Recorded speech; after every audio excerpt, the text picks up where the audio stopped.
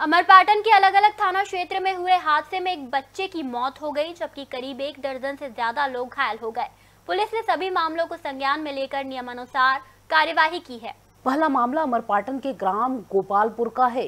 यहाँ बीहड़ नदी में नहा रहा आठ साल का बच्चा गहरे पानी में डूब गया। मासूम दोस्तों के साथ नहाने गया था, तभी नदी के तेज बहाव में जाने से डूब गया। जानकारी लगते ही परिजन मौके पर पहुँचे और बच्चे को नदी से निकालकर सिविल अस्पताल ले गए, जहाँ जाँच करने के बाद डॉक्टरों ने उसे मृत घोषित कर दिया। पुलिस मामला दर्ज कर जाँच में जुट गई है।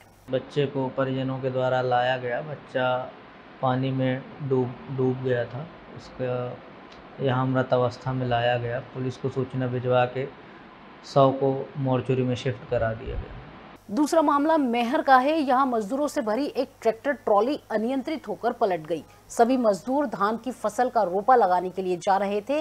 हादसे के बाद चीख पुकार मच गई। इस घटना में करीब एक दर्जन मजदूर घायल हो गए।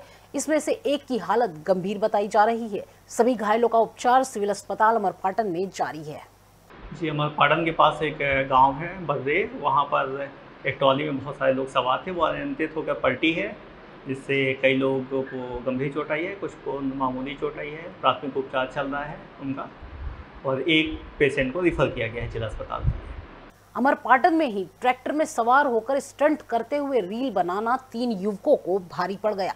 स्टंट दिखाने के दौरान ट्रैक्टर अनियंत्रित होकर पलट गया। हालाँकि इस हादसे में कोई जनहानि नहीं हुई, लेकिन लापरवाही करने पर पुलिस ने तीनों को गिरफ़्तार कर न्यायालय में पेश किया। आज अठहत्तरवें स्वतंत्रता दिवस का जो कार्यक्रम स्टेडियम में चल रहा था अमरपाटन में, वहाँ पर एक ट्रैक्टर घुस गया जिसमें तीन बच्चे सवार थे। उम्र लगभग 24 से 26 साल थी और उनकी रफ्तार तेज़ थी, जिसके वजह से वो अनबैलेंस हो गया और पलट गया। यद्यपि हमारे लिए अच्छी बात यह है कि इसमें कोई जनहानि नहीं हुई।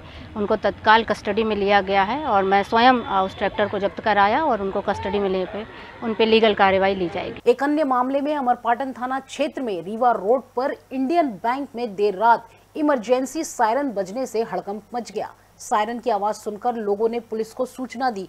पुलिस ने मौके पर पहुंचकर बैंक मैनेजर को बुलाया। देर रात बैंक का ताला खुलवाया गया। जाँच के बाद टेक्निकल फॉल्ट की जानकारी सामने आई। निरीक्षण के दौरान बैंक में गड़बड़ी नहीं मिलने पर बैंक मैनेजर और पुलिस ने राहत की सांस ली। Rabindranath Tagore university, Bhopal. N I R F rank for